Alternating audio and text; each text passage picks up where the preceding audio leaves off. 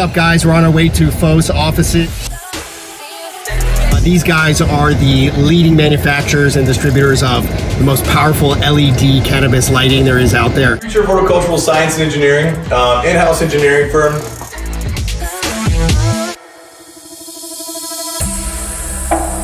Specifically around designing the most high-tech and efficient lighting solutions for commercial cannabis grows.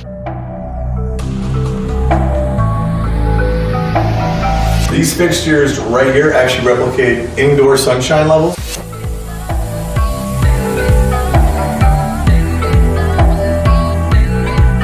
We grow more weight, higher THC levels, two weeks faster than any other lighting system on the planet, and do it cheaper. And they're super fucking lit.